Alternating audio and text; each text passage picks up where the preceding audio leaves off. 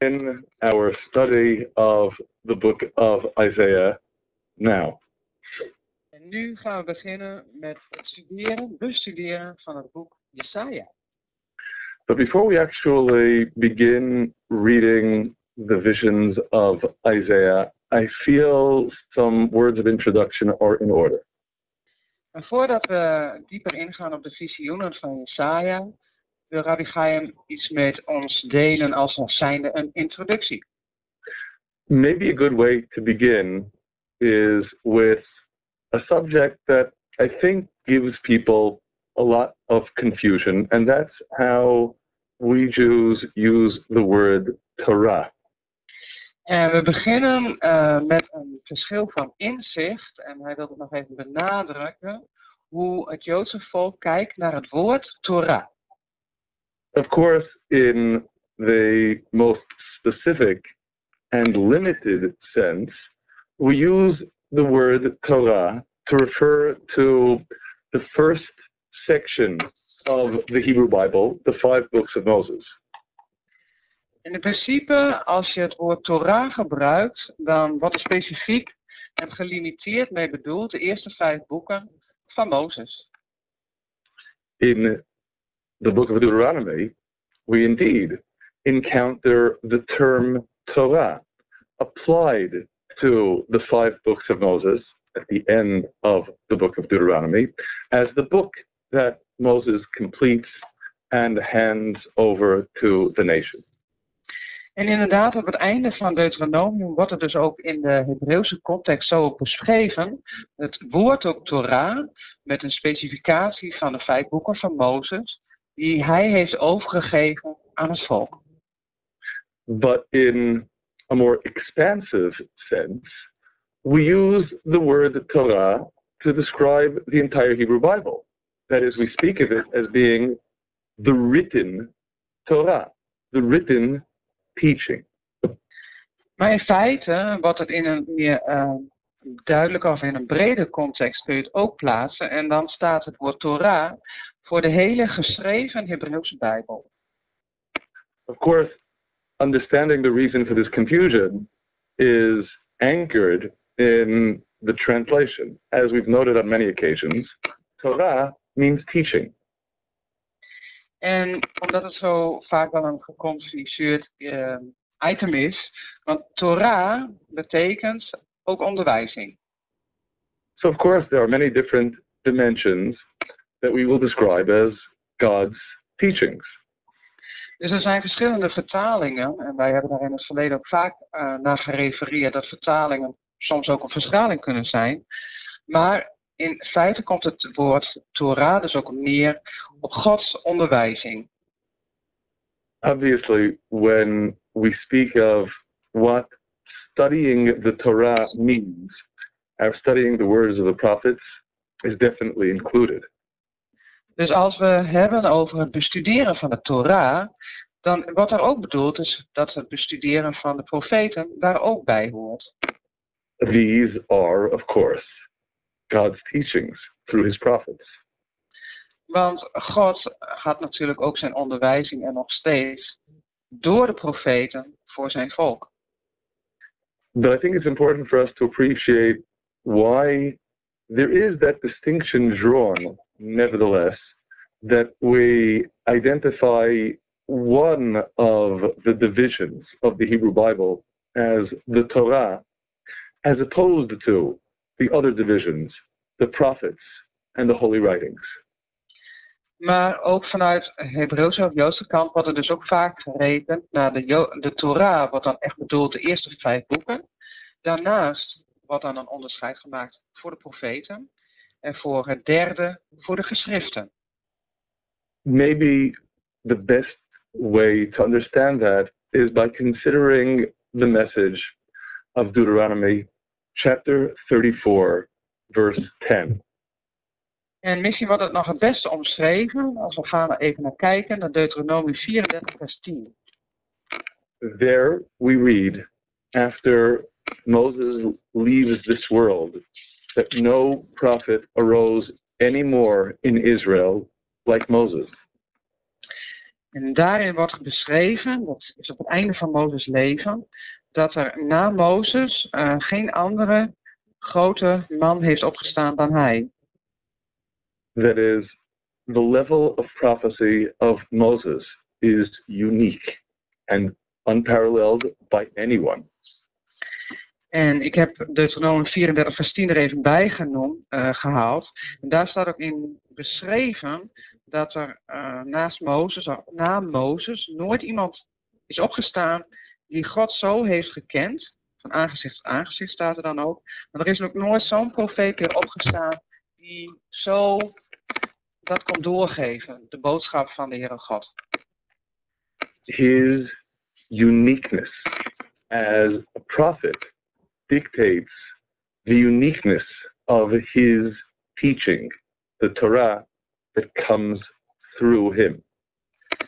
Dus omdat Mozes zo heel erg uniek is, uh, geeft dat ook een bepaalde status zeg maar, aan, aan zijn onderricht wat hij heeft opgeschreven en doorgegeven. In our expression, Moses alone in the Torah, the five books of Moses, is giving us eternal instruction that applies for all generations equivalently. Dan is vanuit dat uh, oogpunt bekeken, is Mozes zo groot omdat hij heeft doorgegeven in de Torah en in de eerste vijf boeken. Alleen dat al is voldoende uh, voor ons hele leven, zeg maar.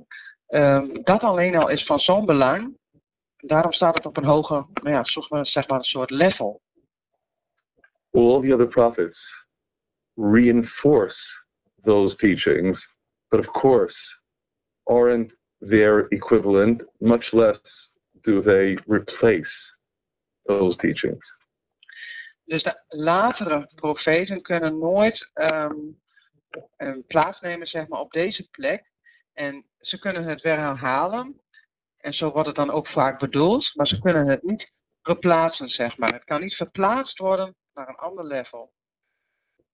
The last of the prophets in the Hebrew Bible, Malachi, in his last statement, in chapter 3, verse 22, bids us remember the Torah of my servant Moses. En ook de laatste profeet uh, van Hebreeuwse Bijbel, uh, die heeft geschreven, Mal Malachi, dat staat in Malachi 3 vers 22, refereert eraan. Hij zegt dan ook van, gedenk uh, de, de boeken van Mozes, van de profeet Mozes. And that then is the role of the prophets, again, reinforcing that teaching, the Torah of God's servant Moses. Dus in feite, de andere profeten die erna zijn gekomen, hebben een herhaling gegeven van de Torah van Mozes. So again, on the one hand, only the Torah is deemed eternal instruction. All of the words of the prophets are necessarily grounded in a certain time. En dat wil dus ook zeggen dus dat de eerste vijf boeken van Mozes uh, van eeuwigheidswaarde hebben. En de andere uh, geschriften van de profeten, die uh, herhalen dat wat daarin is geschreven. Ze zullen daar ook altijd naar terug verwijzen, op een, een of andere manier. But that's all on the one hand. Maar dat is natuurlijk aan de ene kant. On the other hand, obviously, everything that is included in the Bible is there to teach us. Maar natuurlijk is het ook zo vanaf de andere kant dat alles wat in de Bijbel is geschreven is om ons te onderwijzen. En nog even terugkomend, wat Rabbi Chaim net ook zei, de andere profeten refereren ook vaak in een bepaald tijdsbestek. Dat was ik vergeten te vertalen. So, these other teachings are grounded in a certain time and they aren't eternal instruction, like the Torah, the teaching that comes from Moses is, but all the words of the prophets are needed by all generations because they still have something critical to teach us. Dus de woorden van de profeten zijn altijd gegrondvest in een bepaalde tijd, dat het genoemd werd, en ook gegrondvest in de eerste vijf boeken. Maar toch gelden ze ook voor alle latere, niet de generatie waarvoor het is geschreven, maar ook voor de latere generaties. Want ze geven een onderricht en een onderwijs wat eigenlijk voor iedereen toch heel erg van belang is. This is a good way for us to launch into the first verse of Isaiah. En vanaf hier gaan we beginnen met het eerste vers van Jesaja. Because, of course, on the one hand, the first verse of Isaiah presents his teachings in a particular time, telling us when he gave us these teachings. En zoals we direct ook zullen zien en lezen, is dat hier ook wordt geschreven dat Jesaja deze, uh, dit onderwijs geeft in een bepaald tijdsbestek. And I think it's critically important then for us to understand what the context is and what this first verse is telling us about the time in which these teachings of Isaiah are anchored. Dus wij moeten uh, ons afvragen in wat voor tijdsbestek en wat voor context Jesaja deze woorden heeft laten opschrijven. Uh, wat wij daarna kunnen ook van leren. Maar wij moeten vooral eens kijken in wat voor tijd deze woorden in die tijd hebben moeten zeggen. But of course, simultaneously, in our considering the time in which these teachings are anchored, we aren't merely studying history to understand what happened then. We're studying these words because of our need to learn lessons from them now and here. En het is niet zo dat wij een stuk geschiedenis gaan uh, bestuderen alleen maar om dan de woorden in de context goed te kunnen verstaan en zo kunnen toepassen op die tijd. Het is natuurlijk ook van belang dat wij het leren van de geschiedenis en dus de woorden van de profeet kunnen toepassen in het hier en nu. So, we consider the historical context, but we consider it not as an academic study of history, but rather in order to understand, ironically, the ongoing relevance of these teachings to all generations, and of course, especially to us. Dus we gaan niet alleen maar een academische, historische geschiedenislessen behandelen, zeg maar. Maar we gaan het echt ook toepassen in deze tijd. Juist ook in ons leven, de tijd waarin we leven, wat wij ervan kunnen leren. Want geschiedenis ook is iets wat steeds herhaalt, lijkt het wel. Dus daarom is, uh, is het ook ontzettend leerzaam voor ons vandaag de dag. So, on that note, the opening words of Isaiah. Dat waren de openingswoorden voor het boek Jesaja. The vision of Isaiah, the son of Amos, which he saw concerning Judah and Jerusalem in the days of Uzziah, Jotham, Achaz, and Chizkiah, Hezekiah, kings of Judah. En we beginnen te lezen bij vers 1 van Jesaja. Het gezicht van Jesaja, de zoon van Amos, dat hij heeft gezien over Juda en Jeruzalem in de dagen van Uzia, Jotam, Agas en Jeheskia, koningen van Juda. So we have, of course, four kings who are named here. They are obviously consecutive kings. And thus, the prophet is telling us what the context was what the framework is in which these teachings are coming to us. En de profeet Jesaja noemt hier vier koningen van Juda. En die zijn van belang, omdat het tijdsdan bestek kan worden gegeven, maar ook de situatie. En van daaruit zijn de onderwijzingen van Jesaja opgeschreven. What do we know about these four kings? En wat weten we van deze vier koningen? Well, the answer is we know quite a bit from both the book of Kings and the book of Chronicles. En een beetje weten we van deze koningen door het uh, tweede boek van Koningen, hoofdstuk 15 zie ik staan, en ook naar Chronieken te kijken. And tantalizingly, in the case of several of these kings, in order to really get a picture of what we know about them, we need to consider not only the book of Kings or only the book of Chronicles, but the tantalizing differences between them. En we moeten dan alleen niet kijken naar het boek van Koningen en Kronieken, wat daarin wordt beschreven, maar ook wat hun samenbindt of wat hun overeenkomsten zijn. So we begin with the first of these four kings, who principally in the book of Kings is known as Azariah rather than as Uzziah. We find the name Uzziah also used to refer to him. The names have a similar derivation and meaning in Hebrew. We read about this king at the beginning of the second book of Kings, chapter 15. En we beginnen bij de eerste koning, die wordt genoemd. In Jesaja wordt hij genoemd, uh, even snel terugkijken, Uzia. Maar in 2 Koningen hoofdstuk 15 vers 1 wordt hij anders genoemd. Sarja, koning staat daarbij in het eerste vers. En in het Hebreeuws zijn uh, de twee namen hebben een bepaalde betekenis wat uh, overeenkomstig met wat elkaar gelinkt is, zeg maar. Beginning in verse 1. In the 27th year of Jeroboam, king of Israel, began Azariah, son of Amaziah, king of Judah, to reign. We lezen in 2 Koningen 15 vers 1. In het 27e jaar van Jerobeam, de koning van Israël, werd Asaria koning, de zoon van Amasja, koning van Juda. Now what's important for us to stress in verse 3 is he did that which was right in the eyes of God, according to all that his father Amaziah had done. En opmerkelijk lezen we verder in uh, vers 3. Hij deed wat recht is in de ogen des Heeren, geheel zoals zijn vader Amasja gedaan had. Now, this is praise, but it's qualified praise.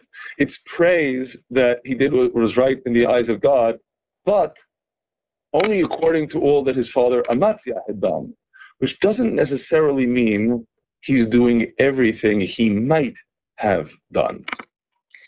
En het opmerkelijk hierin wordt geschreven dat hij het doet zoals zijn vader Amasja heeft gedaan.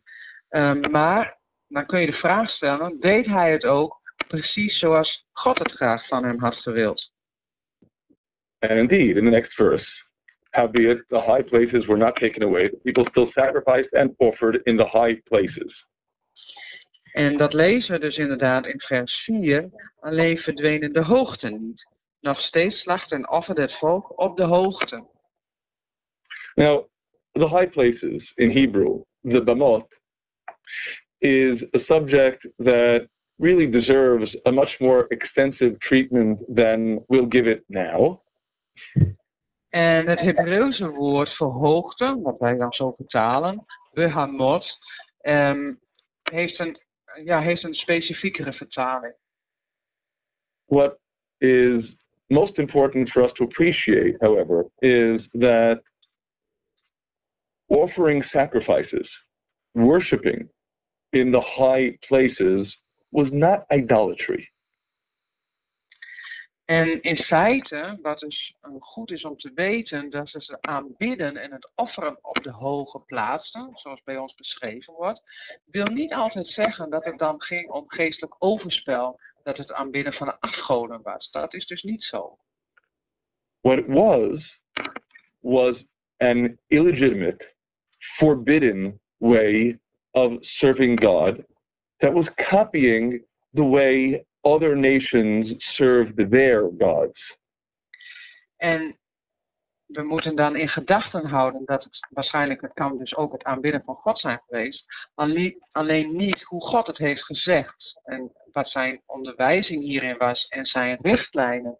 In feite deed het, het volk Israël toen precies zoals wat de andere volken ook deden, hoe het hun het beste uitkwam, dichterbij. Maar waren ze dus ongehoorzaam aan de regels van de Heere God zelf.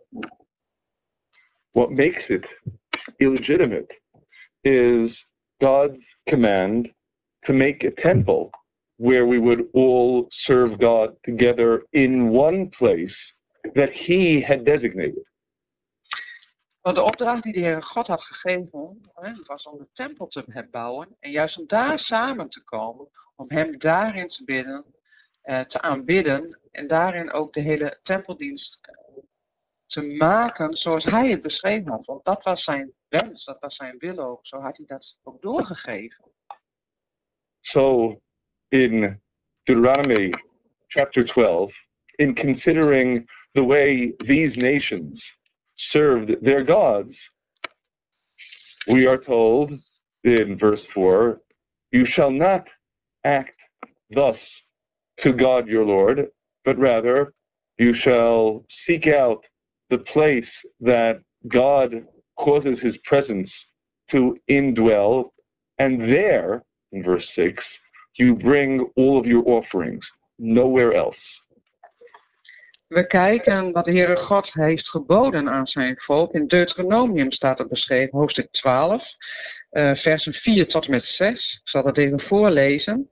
Niet alzo zult gij de Heer uw God dienen, maar de plaats die de Heer uw God uit het gebied van al uw stammen verkiezen zal, om daar zijn naam te vestigen, om daar te wonen.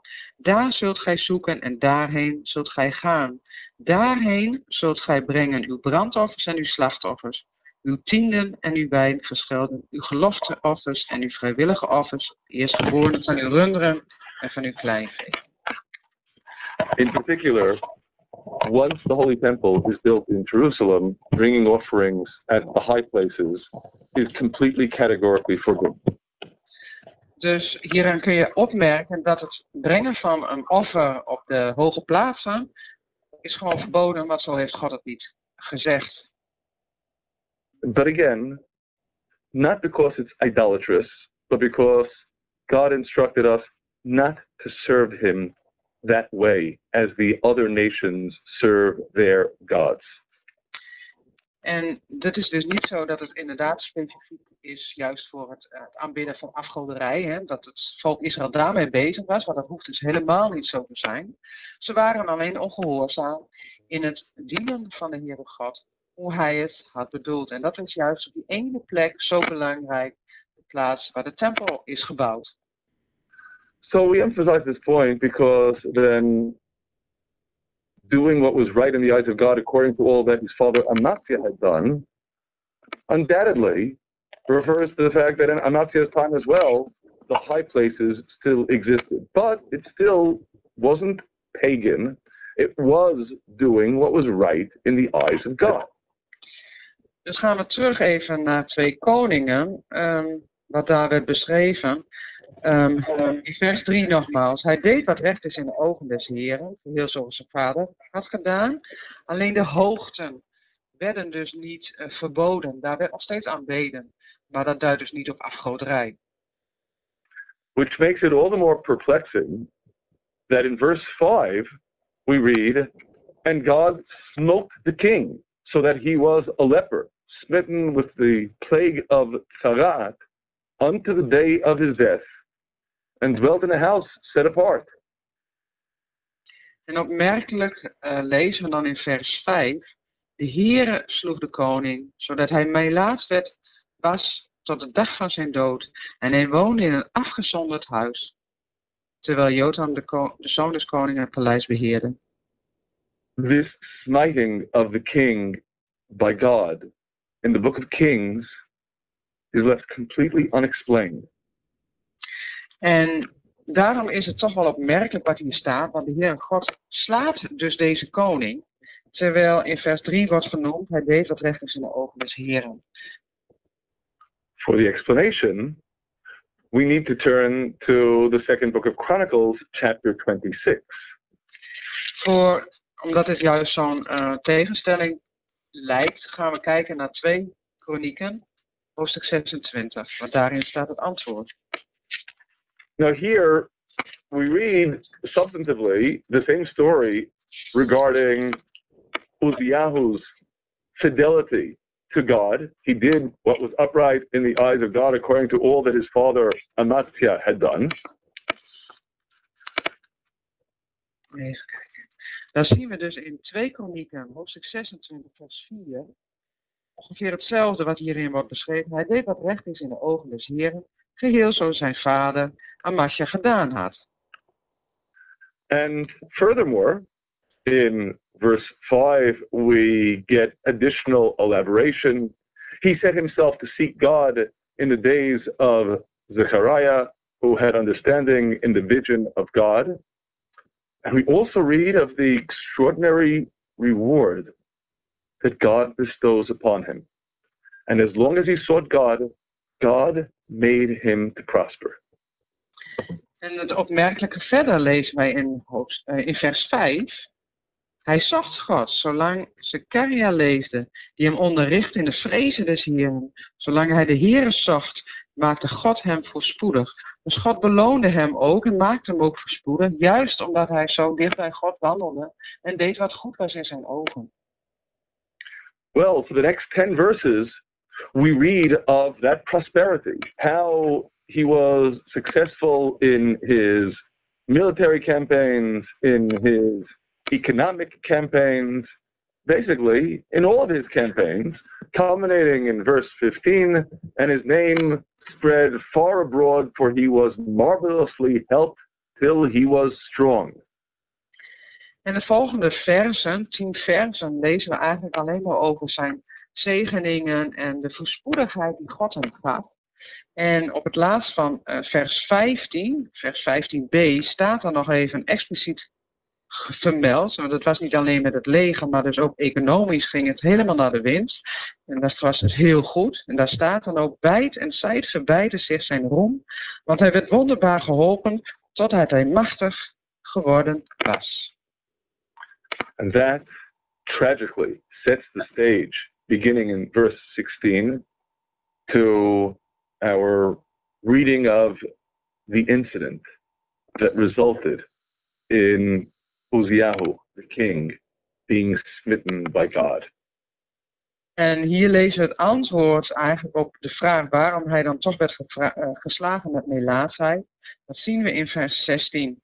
Hij was dus machtig geworden.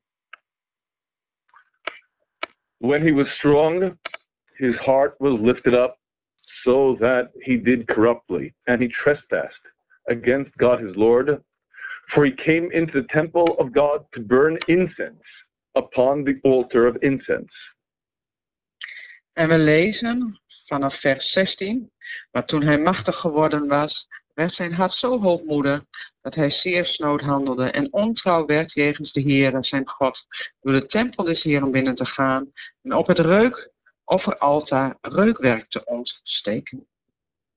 And Azariah, the chief priest and another 80 priests who were with him stand over him, warning him about the dire consequences of this trespass because God only allowed the priests to bring incense upon the incense altar, not kings.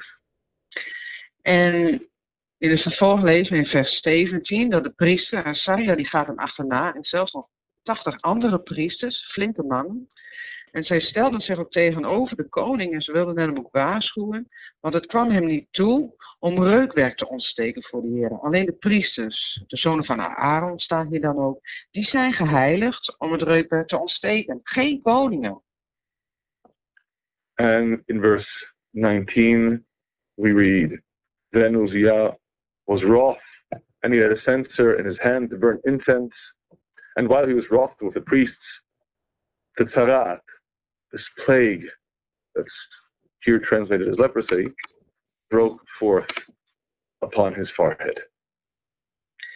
Vanaf vers 19 lezen we, toen werd Uzia toornig, het wierookvat om reukwerk te ontsteken was in zijn hand.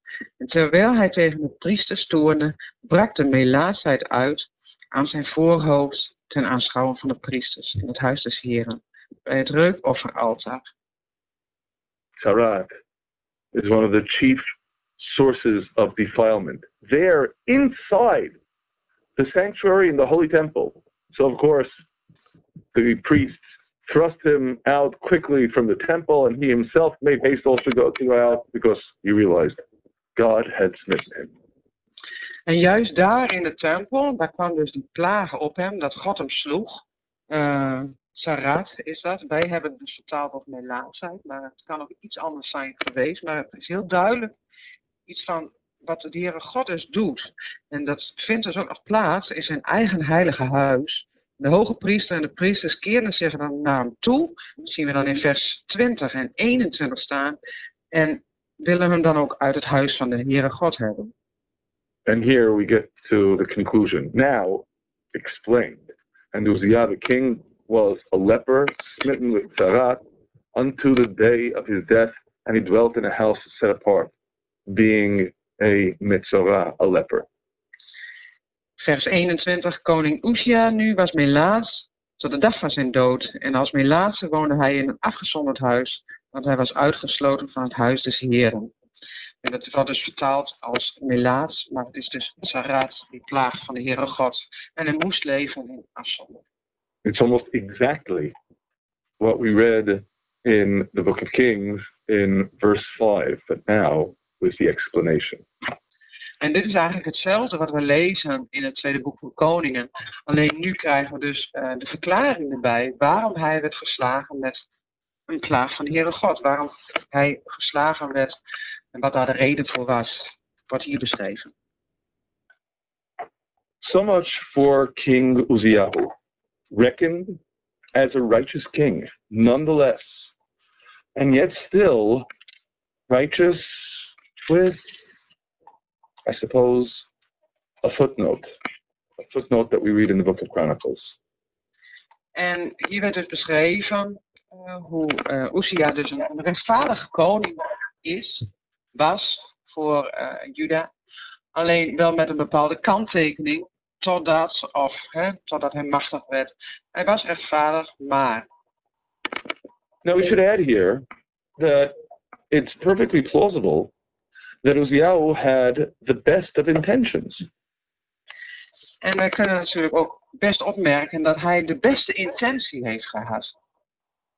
After all, having been granted such extraordinary prosperity by God, he wanted to express his thanks.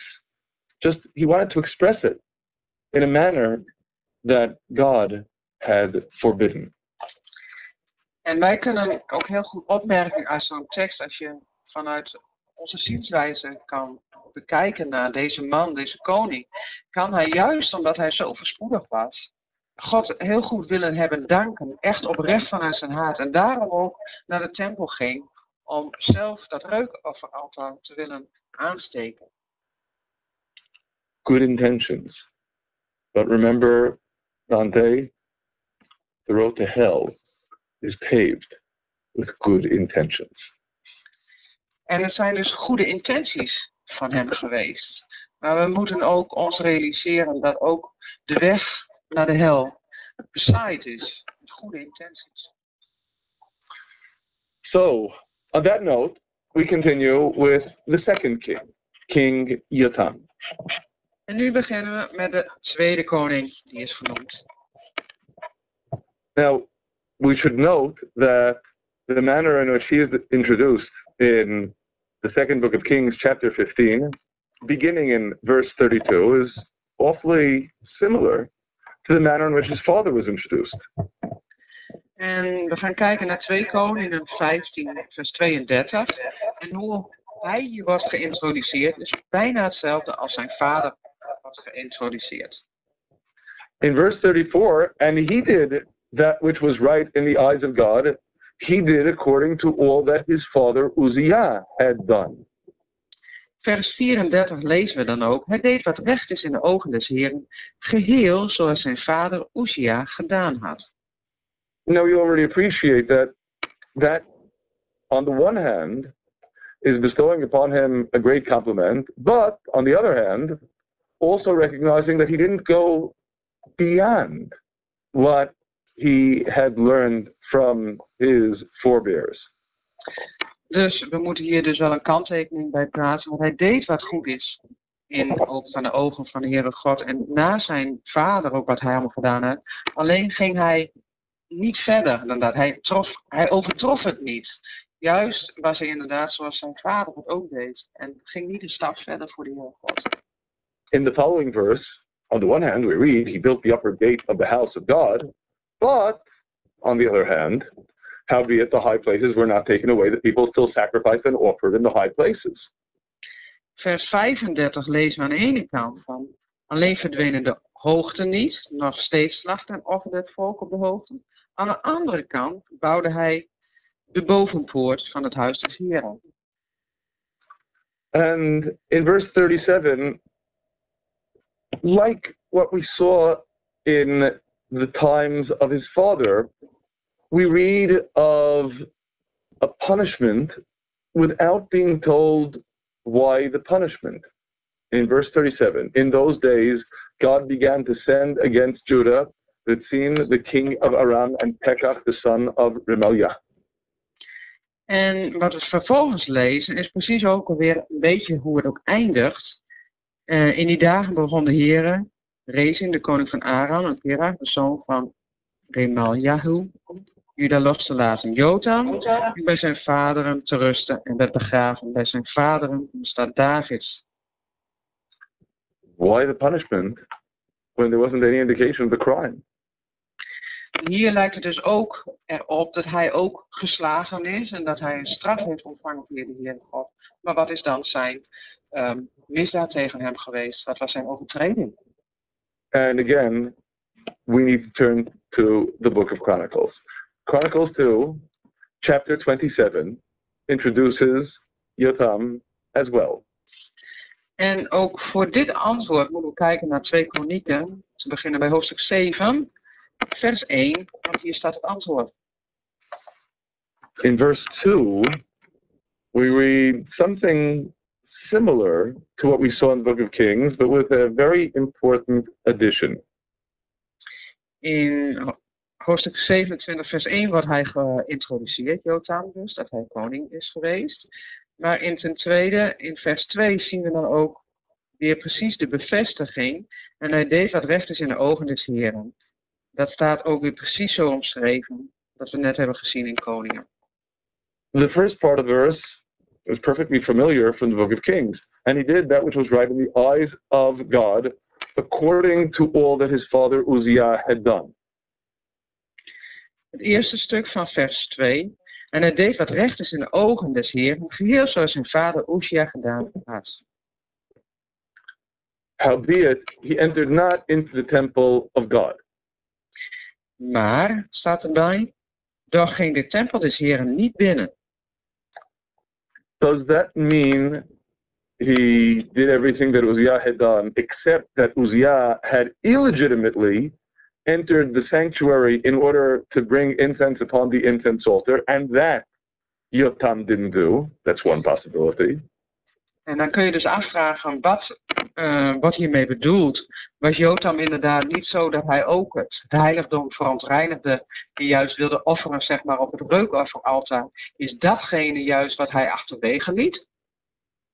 Does it mean that he didn't enter into the temple of God at all? Maybe he was traumatized by what happened to his father and he confined his service of God to the high places.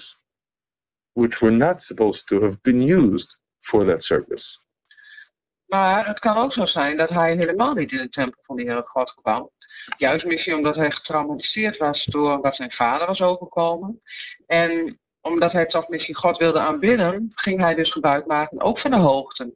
Juist om daar te aanbidden, maar ook om daar te offeren. The truth is we don't know. We do have a tradition of Yotam being a very, very righteous king. Extraordinarily righteous. But we really don't know. We weten dus het antwoord hier niet zeker op of dat ook inderdaad het geval is geweest. In de overlevering van het Joodse volk uh, wordt Jotam altijd gezien als een ontzettend rechtvaardige koning. Echt die zich uitstrekt van de Heere God, zeg maar. It should be noted that supporting that tradition of his righteousness, in verse 6 we read, Jotam became mighty because he ordered his ways before God his Lord. We kunnen dan ook lezen in vers 6. Jotam betoonde zich een krachtig man, want hij was standvastig in zijn wandel voor het aangezicht van de Heer en zijn God. But, on the other hand, Going back to verse 2, the end of the verse, and the people did yet corruptly. Misschien vinden we aanwijzing in vers 2, in het laatste stuk van vers 2, wat we net niet hebben gelezen. Daar staat, maar het volk volhardde in zijn snode handel, handelswijze. A generation is, of course, to be judged by its leaders, but it's also to be judged by itself. Even if Yotam was a paragon of righteousness, the people did yet corruptly. En een generatie wordt inderdaad um, gestraft of afgerekend op hoe het leeft. Ten eerste natuurlijk de koningen, expliciet hun, maar ook het volk zelf. Uh, dat geldt ten goede en ten kwade. Beide kun je dat natuurlijk van toepassing brengen op hun eigen verantwoordelijkheid. So you'll note that so far, we've considered the first two of the four kings on the list. And with respect to each one, each generation, we're left with questions. En we hebben nu twee koningen behandeld en ook daardoor dus twee generaties. En eigenlijk laten die ook allebei nog vragen open. Well, Unfortunately, there's much less question with respect to the third king on the list, King Achaz. We gaan nog even kijken naar de derde koning van de lijst, en dat is koning Achaz. In the second book of Kings, chapter 16, we read about his reign. En we lezen over zijn regering in 2 Koningen vanaf hoofdstuk 16. And beginning with verse 2, we read about how bad he was. En vanaf vers 2 lezen wij um, het tweede deel, gedeelte zeg maar van vers 2. Hij deed niet wat recht is in de ogen des Heeren. Hij was dus een hele slechte koning. He did not that which was right in the eyes of God, his Lord, like David his father. Hij deed niet wat recht is in de ogen van de Heer zijn God, zoals zijn vader David.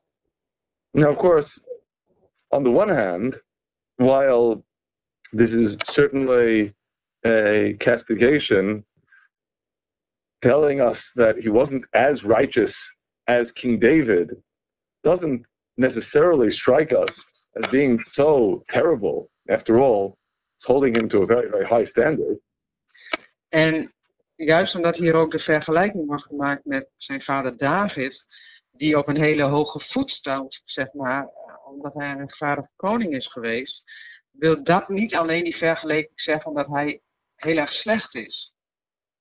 But in verse 3, he walked in the way of the kings of Israel, yea, and made his son to pass through the fire according to the abominations of the heathen nations. En het erge juist wat hij deed, stond er natuurlijk ook, hij deed niet wat recht was in de ogen van de heren. Maar, en dat zien we in vers 3, maar hij wandelde in de weg van de koningen van Israël. Hij, ook deed hij zijn zoon door het vuur gaan. In verse 4, he sacrificed and offered in the high places and on the hills and under every leafy tree. Dus hij liet zijn eigen zoon door het vuur gaan, in overeenstemming met de gruwel der volken, die de Heer voor de Israëlieten had verdreven. En in vers 4 lezen wij, hij slachtte en offerde op de hoogten, de heuvels en onder elke groene boom. In verse 5, we read that Ratzin, the king of Aram, and Pekach, the son of Amaliah, the king of Israel, came up to do Jerusalem war, and they besieged Achaz besieged Jerusalem unsuccessfully. Vers 5 lezen we dan. Toen trok Rezin, de koning van Aram, naar Pekah, de zoon van Remon Jahu, de koning van Israël, op ten strijde tegen Jeruzalem. En zij belegerden Agaz, maar konden in de strijd de overhand niet behalen. Of this unsuccessful siege against Jerusalem, we read also in Isaiah, in the first verse of chapter 7, that Rasin, king of Aram, and Pekach, son of Amayahu, king of Israel, went up to Jerusalem to war against it, but could not wage war, could not prevail against it. En opmerkelijkerwijs zien we dat ook terug in Jesaja hoofdstuk 7. Het eerste vers, het is een lang vers, maar op het einde van dat eerste vers staat ook inderdaad dat ze optrokken tegen Jeruzalem. Maar hij kon in de strijd daartegen de overhand niet behalen. But here, again, we are compelled to look to the book of Chronicles for additional explanation and clarification. So we look to the second book of Chronicles, chapter 28. Maar ook hier hebben we een nadere verklaring nodig van het boek van Kronieken. We gaan kijken naar 2 Kronieken, hoofdstuk 28. And here, just as we saw in the book of Kings, we read he did not that which was right in the eyes of God, like David his father. Vanaf vers 1 lezen we dan. Um, hij deed niet wat recht is in de ogen des Heeren, zoals zijn vader David. But here, of far, far more dire sin than what we saw in the book of Kings. He walked in the ways of the kings of Israel and made also molten images for the Baalim. This is classic idolatry. Hier wordt ook genoemd wat het erge wat hij allemaal heeft gedaan ten opzichte van de Heere God, is dat hij inderdaad afgoderij pleegde. In vers 2 lezen we, maar hij wandelde in de wegen der koningen van Israël en maakte zelfs gegoten beelden voor de Baals. And more explicitly than in the book of Kings, we read of the abomination of the Molech worship taking place in the valley of the son of Hinnom. He offered in the valley of the son of Hinnom and burnt his children in the fire according to the abominations of the heathen nations. En in het boek van Koningen werd dit dus al aangehaald. In vers 3 wordt het nog explicieter en uitgebreider beschreven. Ik zal het even lezen. Ja, hij ontstak offers in het dal Ben en verbrandde zijn zonen met vuur in overeenstemming met de gruwelen der volken die de Heeren voor het aangezicht van de Israëlieten had verdreven. Daar werd dus echt de moloch ook aanbeden, uh, aanbeden, zeg maar. Dus het was echt afgoderij. Alles ging buiten de Heer God om. So, when we consider how King Achaz is described in the book of Chronicles, not too surprising that the punishments that God metes out to Israel in his time were not merely the unsuccessful siege of Jerusalem by the king of Aram and the king of Israel. En zo zien we dan ook de straf die de Heer God ook geeft in vers 5. Daarom gaf de Heer, zijn God, hem over in de macht van de koning van Aram, zodat ze hem versloegen en veel gevangenen van hem wegvoerden en naar Damascus brachten. That is, while the siege of Jerusalem may not have been successful, it still caused an extraordinary amount of damage to the nation and loss of life as well. Dus Jeruzalem was misschien wel belegerd, maar die konden zij niet innemen. Maar dat wil niet zeggen dat de nederlaag niet heel erg groot was, want die wordt hier beschreven dat de koning van Aram heel succesvol is geweest en ontzettend veel slachtoffers heeft gemaakt en heel veel mensen heeft weggevoerd. By consequence of his sacrifices and abominations, we read in verse 5 Wherefore God his Lord delivered him into the hand of the king of Aram, and they smote him and carried away of his a great multitude of captives and brought them to Damascus. And he also was delivered into the hand of the king of Israel, who smote him with a great slaughter. En in vers 5 lezen dan alles even. En daarin staat, daarom gaat de Heer, dus dat is echt de reden, zijn afgoderij, wat hij allemaal heeft gedaan. Daarom gaf de Heer zijn God hem over in de macht van de koning van Aram, zodat ze hem versloegen en veel gevangenen van hem wegvoerden en naar Damascus brachten. Ook werd hij in de macht van de koning van Israël overgegeven, die hem een zware nederlaag toebracht. The magnitude of this slaughter boggles the mind. In verse 6, Pekach, the son of Eliyahu, slew in Judah 120,000 in one day. All of them valiant men because they had forsaken God, the Lord of their fathers. in vers 6 lezen we dan het verschrikkelijke hoe God zijn volk slaat. Wat de consequenties zijn dat zij hem zo hebben getacht, zeg maar. Pekah, de koning van Remeliahu, doodde in Juda 120.000 man op één dag, allen krijgslieden, omdat zij de Heere, de God hunner vader, hadden verlaten. Among the casualties were the king's son, the ruler of his house, and the viceroy of the king. En ook inderdaad, um, zien. Verslaan van een, de held van Ephraim, doden. Even zien hoor, even kijken.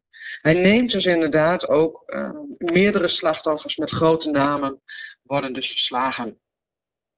And as for captives, again, staggering numbers. The children of Israel carried away captive of their brethren 200,000 women, sons, and daughters, and took also away much spoil from them and brought the spoil to Samaria. En hoe groot de slag is geweest, zien we ook verder in vers 8. Dus niet alleen de voorname, de koning, maar ook, um, ook werden de Israëlieten van hun broeders 200.000 vrouwen, zonen en dochters als gevangenen weg. En roofden tevens van hen een grote buit die ze naar Samaria brachten. So, as for the third king on the list, the book of Chronicles tells us some more regarding just how bad he was and how grievously he and the nation of Israel were punished.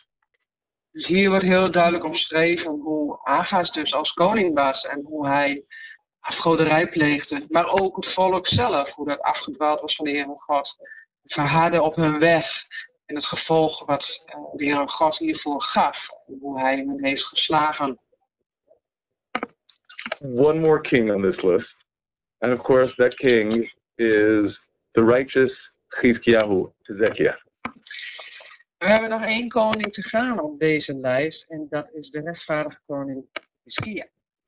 But here too, we're going to need to consider the difference between what we read in the book of Kings and what we read in the book of Chronicles. En ook hier moeten we weer naar beide boeken kijken, naar het boek van Koningen en naar het boek van Kronieken. We read in both, as we see here in verse 3, and he did that which was right in the eyes of God according to all that David his father had done. En we beginnen met lezen in 2 Koningen 18 vers 3. Hij deed wat recht is in de ogen des geheel zoals zijn vader David gedaan had. And of course, I call your attention to the fact that here we do not read that he did what was right in the eyes of God according to what his father, well, obviously his father wasn't very righteous, but even according to what his grandfather or great grandfather had done. Rather, according to all that David, his father, had done. En het is opmerkelijk dat hier dus inderdaad wordt beschreven, hij deed wat recht is in de ogen des heren. En daarna wordt een hele stap gemaakt naar zijn grootvader, of over, overgrootvader, David. Dus de andere, de vaders, de overgrootvader, worden niet genoemd. Dus hij gaat in één keer door naar koning David. Because he did do away with the high places in order to purge the service of God of all of the things that were inappropriate and forbidden.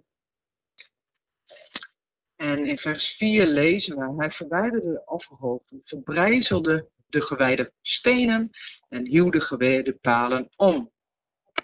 In verse 4, he removed the high places, broke the monuments, cut down the Asherah, and he broke in pieces, crushed the brazen serpent that Moses had made. For unto those days the children of Israel did offer to it, and it was called Nehushtan.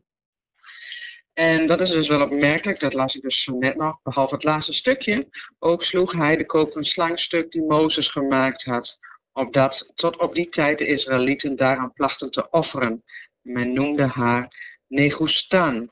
Dus hij, deze koning, Hiskia, verwijderde echt alles wat maar eventueel met afgoderij te doen had.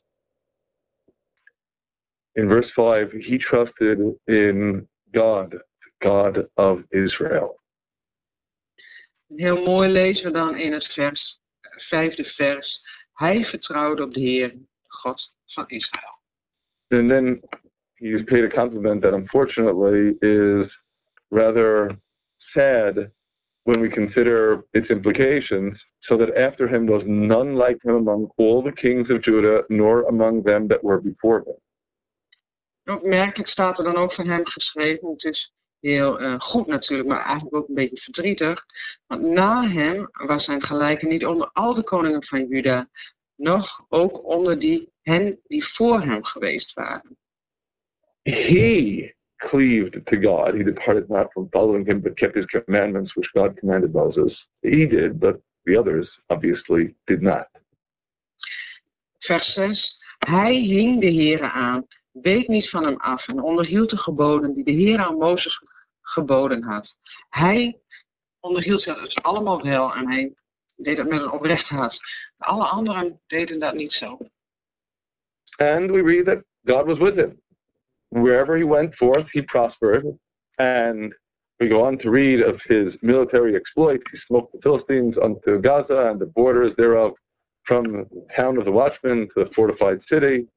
Tremendous success. En we lezen dan ook hoe God hem voorspoedig maakt in vers 7 en 8. Um, ehm, de Heer was met hem overal waarin hij uittrok. Was hij voorspoedig en hij kwam in opstand tegen de koning van Azur en diende hem niet meer. Hij versloeg de Filistijnen tot aan Gaza en verwoestte het gebied ervan. Van de wachttoren af tot aan de versterkte stad toe. In the second book of Chronicles, in chapter 29, we read the version of King King Hezekiah's righteousness that appears in Chronicles. we gaan nu verder met 2 Kronieken, hoofdstuk 29. Daar wordt hij geïntroduceerd. And again, we'll note that the comparison is not to the righteousness of his direct ancestors, but rather he did what was right in the eyes of God according to all that David, his father, had done. Vers 2 lezen dan, dus dat is 2 Kronieken hoofdstuk 29 vers 2. Hij deed wat recht is in de ogen des Heren, geheel zoals zijn vader David gedaan had. Zijn echte um, nabije, nabije voorvaderen worden dus niet genoemd, maar in één lijn wordt dus doorgestoten naar koning David. And in verse 3, we read of his renovations of the Holy Temple. And moreover, in verse 4 and on, of how he charges the priests and the Levites to rededicate and repurify the Holy Temple and the service of God in it. En opmerkelijk wordt hier ook genoemd dat hij, dat zien we dan in vers 3, hij opende in het eerste jaar zijn regering in de eerste maand de deuren van het huis des Heren en herstelde ze. Toen liet hij ook de priesters en levieten komen en vergaderde hen op het oostplein. En hij herstelde zo weer dus de hele tempeldienst. Hij reinigde die en heiligde ook zo de priesters en de levieten weer. And specifically, we of course understand this is following on the heels of the reign of his wicked father. In verse 6, he confesses the sins that our fathers have acted treacherously and done that which was evil in the sight of God our Lord and have forsaken him and have turned away their faces from the habitation of God, the holy temple, and turned their backs. Also, they shut off the doors of the porch and put up the lamps and have not burned incense nor offered burnt offerings in the holy place unto the God of Israel. We lezen verder in vers 6 en 7. Uh, hij doet dus een, een, een, een biecht, zeg maar. Hij doet dus echt een, getuigenis. Want onze vaders zijn ontrouw geweest. Ze hebben gedaan wat kwaad was in de ogen van de Heer onze God. En hebben hem verlaten, hun aangezicht afgewend van de woning des Heren, dus de tempel, en haar de rug toegekeerd. Zelfs hebben zij de deuren van de voorhal gesloten, de lampen gedoofd en geen reukwerk ontstoken, nog brandoffers gebracht in het heiligdom aan de God van Israël. Wherefore, verse 8, the wrath of God was upon Judah and Jerusalem, and he has delivered them to be a horror and astonishment and a hissing as you see with your eyes. For lo, our fathers have fallen by the sword, and our sons and our daughters and our wives are in captivity for this. As indeed we saw in the description of the military debacles that took place in the generation of his father. En we gaan dan verder met uh, vers 8 en 9. Want hij eindigt nog niet helemaal, maar zijn uh, getuigenis gaat verder. Zodat de toorn des Heren op Juda en Jeruzalem rusten. En hij hen maakte tot een voorwerp van schrik en ontzetting en tot een aanfluiting, zodat gij met eigen ogen kunt aanschouwen. Zie, hierom zijn onze vaders door het zwaard gevallen en zijn onze zonen, onze dochteren en onze vrouwen in, in gevangenschap gegaan. Uh, we hebben net natuurlijk die hele opsomming met uh, gevallenen gelezen, maar ook met al die mensen die werden weggevoerd uh, door de koning van Aram. Hoe, hoe grote getallen dat waren. Dus Nederlandse nederlaag was ontzettend zwaar en groot. So in verse 10, the righteous king Hizkiah says to the priests and the Levites, Now it is in my heart to make a covenant with God, the God of Israel, that his fierce anger may turn away from us.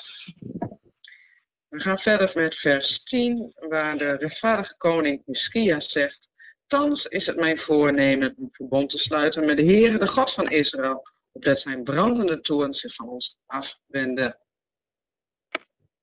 Does that mean that everything is fine, at least in this generation, the last of the four kings listed at the beginning of Isaiah's prophecy?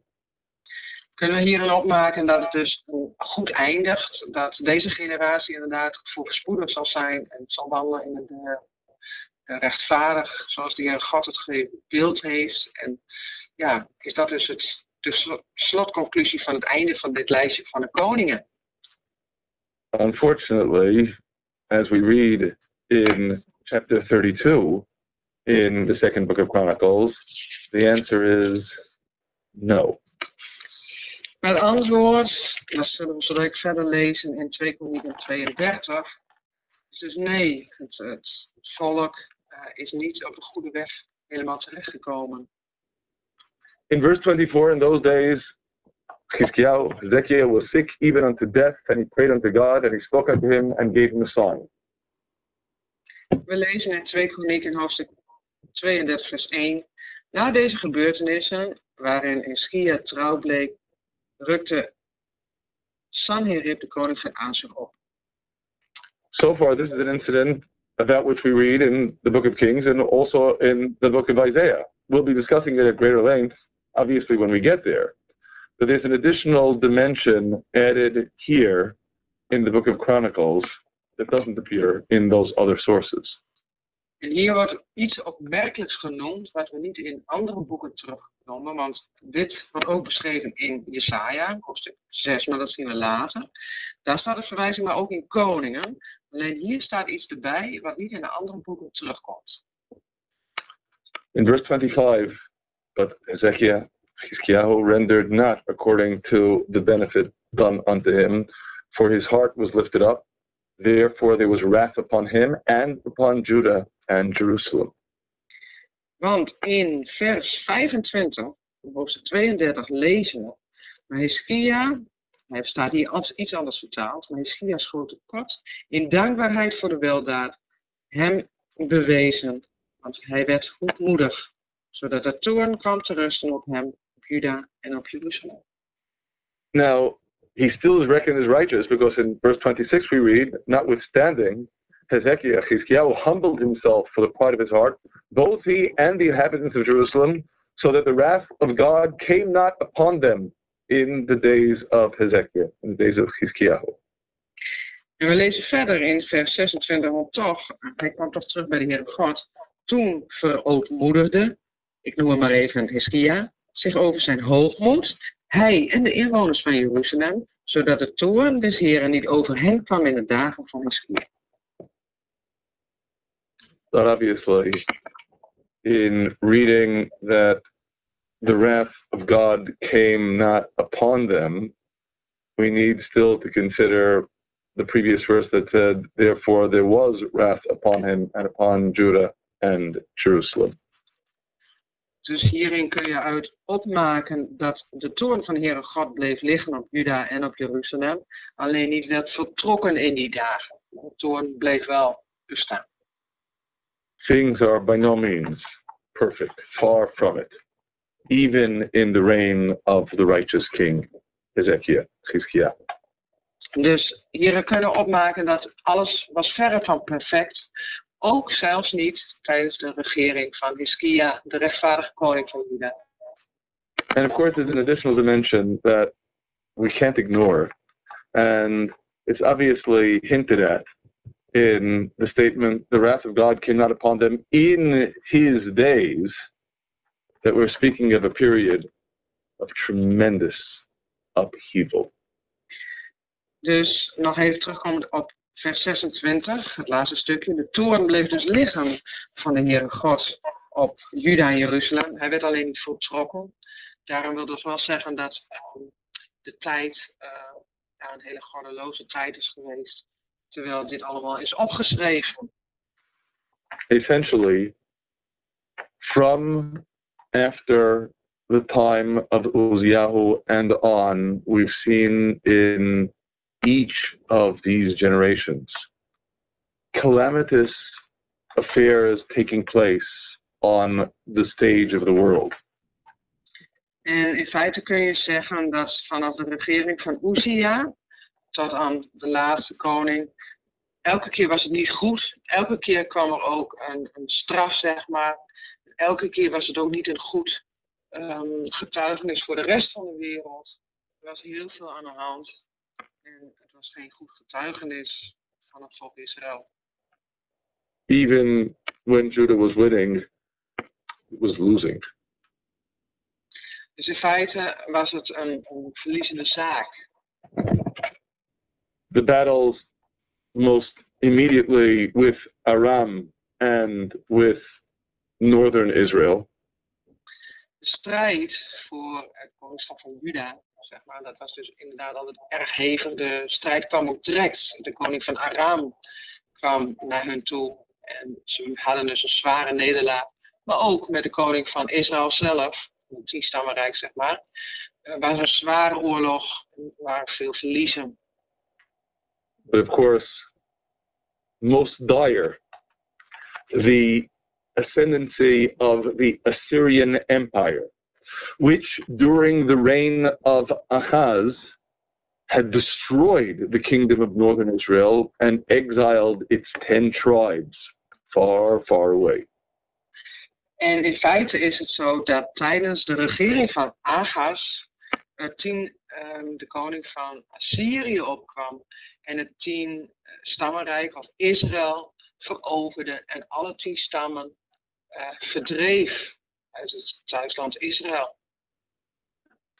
So, to understand the background of the book of Isaiah, we obviously need to take this state of affairs, this international arena, and most specifically, the moral level, the ups and most of all the downs in Judah itself, all into consideration.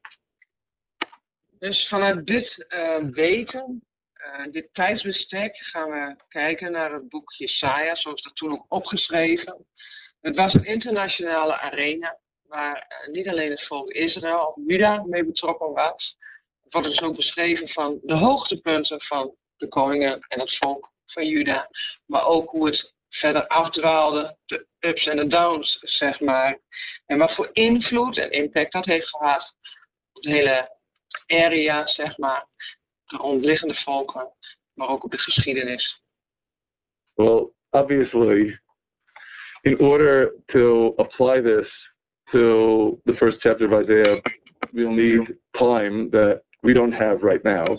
So we're going to have to defer that to our next discussion.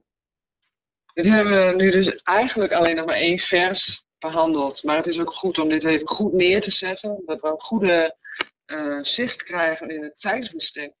Waarin Jesaja is op gaan treden, moest gaan treden. En wanneer is, dit is opgeschreven. Om het boek ook helemaal goed te kunnen begrijpen.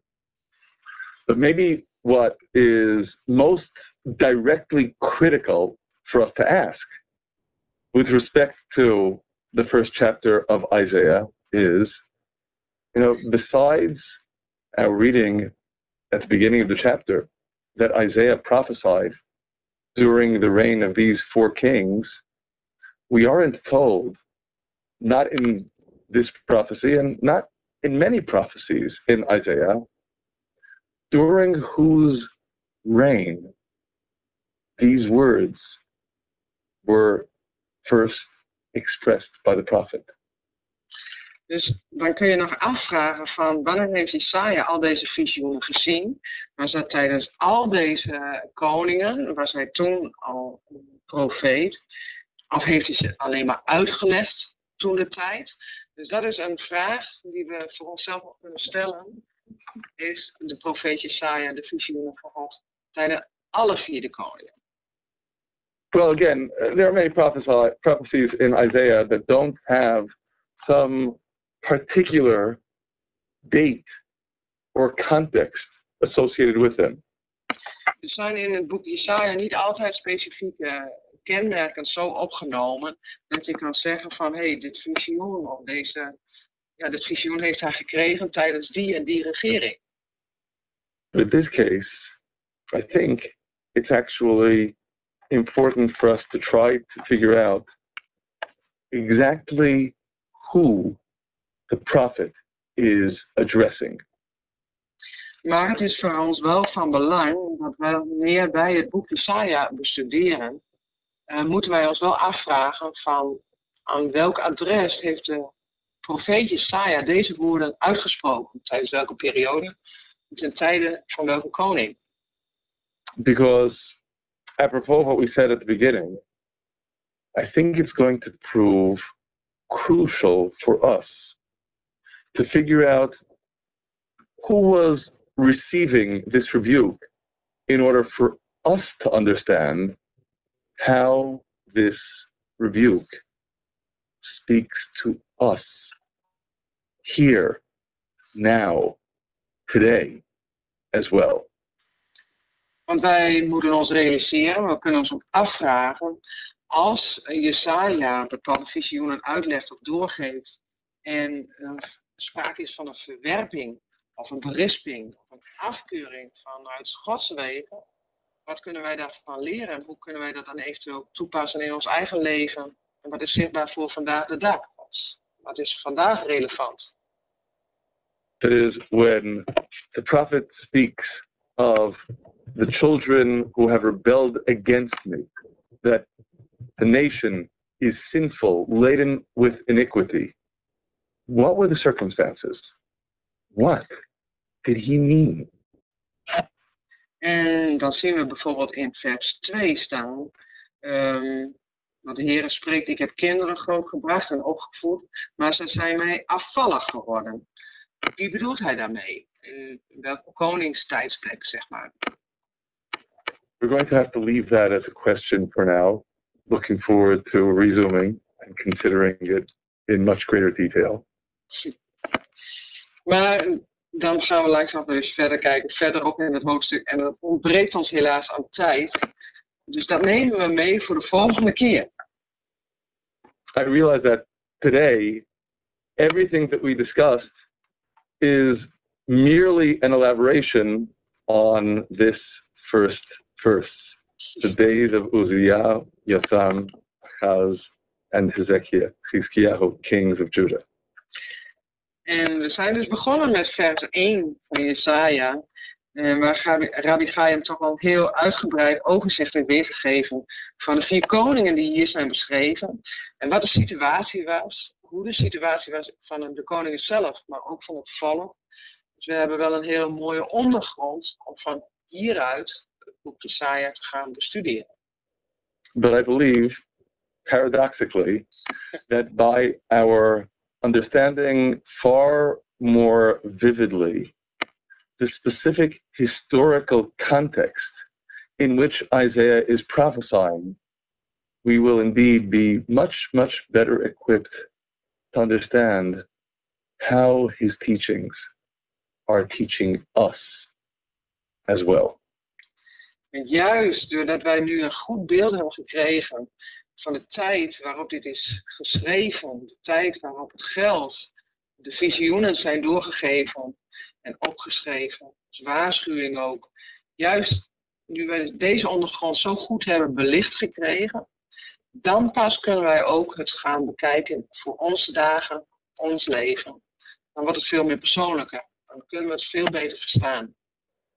By learning his lessons and hearing his rebukes, we earn his blessings. God's blessings and God's consolation through Isaiah as well. Want doordat wij zo vanuit deze context het boekje Jesaja gaan bestuderen en van alle berispingen die hierin zijn opgeschreven kunnen leren, komen ook de zegeningen die worden beschreven in het boek Jesaja dichter bij ons. En worden ze veel meer persoonlijk. More on that, God willing, next time. Maar daaruit gaan we kijken. De volgende keer gaan we hier mee verder. For now, God bless you. Voor nu, God zegen.